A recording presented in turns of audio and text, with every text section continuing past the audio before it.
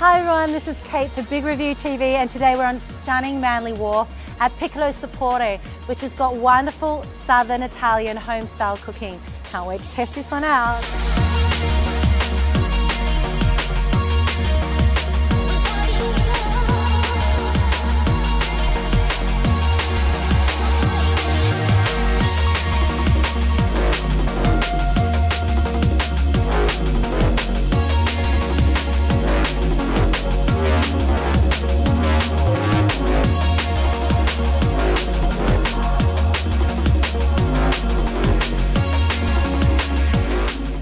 Oh, I tell you what, that really was a fantastic marinara. Those prawns just popped in your mouth and that sauce really was to die for.